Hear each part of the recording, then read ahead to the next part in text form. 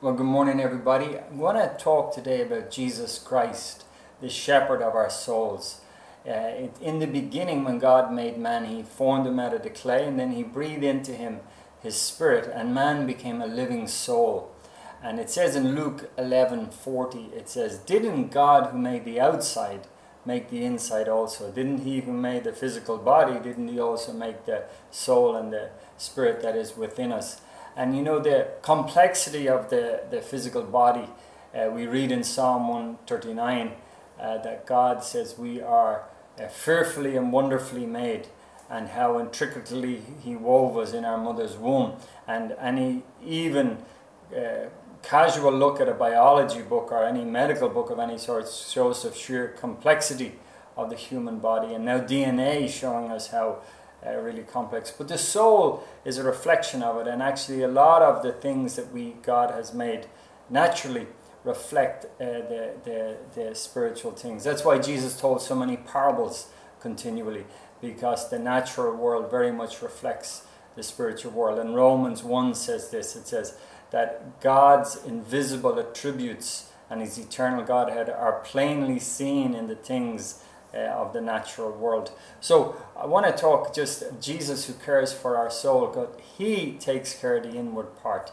And um, you know, we do and take care of the things that are seen, and God takes care of the things that are not seen.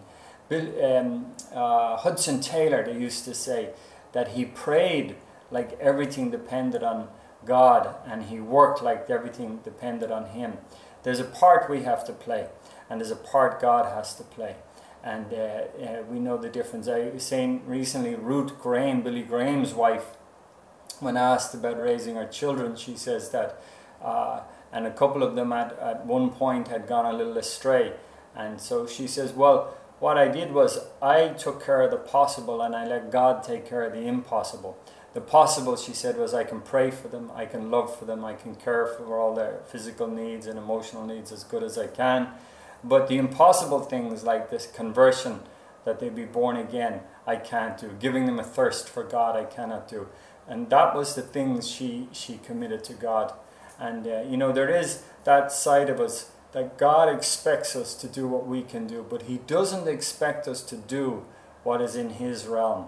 And one of those things is part of is, is the, the keeping of our soul. A little bit of it, as I say, it's our responsibility, but part of it's God's. For example, in Philippians 4, that beautiful part, Paul talks, it says, you know, uh, rejoice in the Lord always. That's kind of us, it's a command. Rejoice, again, I say rejoice. And then he says, let your moderation be known to all men. And then, and then he tells us about our thinking. Think on whatever is true, whatever is just, whatever is pure, whatever is right. Think on these things.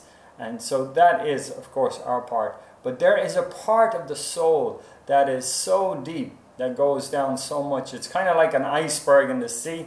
You might have seen that movie, The Titanic, or you've heard about the Titanic. It was the greatest ship at the time ever built. They said it was unsinkable. And it sank on its first voyage because it hit an iceberg in the sea and it thought it was a, a huge block of ice. But actually, Uh, 5% of it protrudes at the top and there's 90% that goes down. And that is the soul of man. There's only a little part that sticks up. It's like these islands you see in the sea. Sometimes it's a small little island, but underneath it's just the top of a huge mountain that is down in the ocean. And so is man's soul.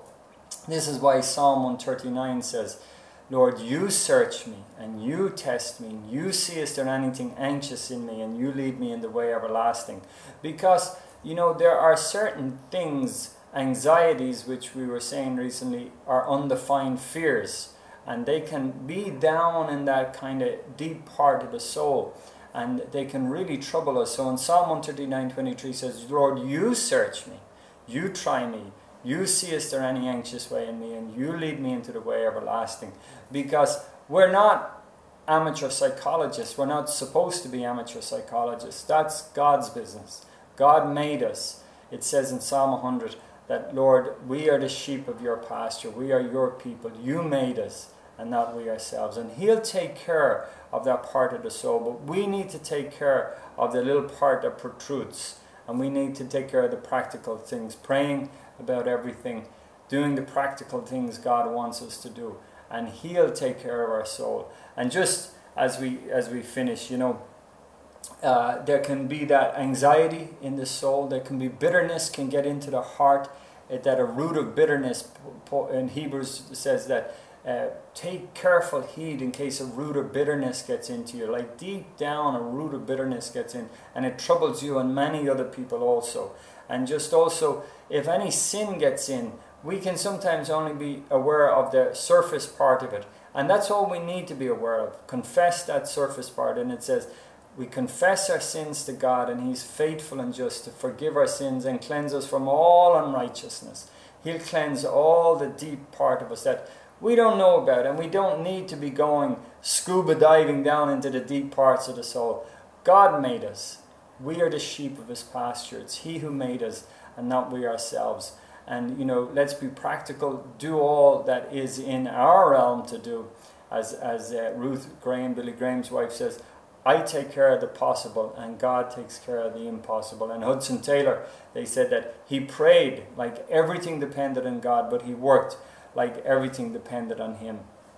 So uh, we thank God. Let's keep, give, uh, commit our souls, it says, uh, to Him who is a, a faithful, to commit, sorry, commit the keeping of our souls to God who is a faithful creator. He created us, He made us, and not we ourselves and He knows how to take care of our souls. So let's pray and we give thanks. Lord, we just thank you, Father. We are fearfully and wonderfully made, and we just ask that you would cleanse us right to the depths, Lord, and more than that, Lord God, that you said in that Philippians 4 that the peace of God, which passes all understanding, shall guard our hearts and minds in Christ Jesus.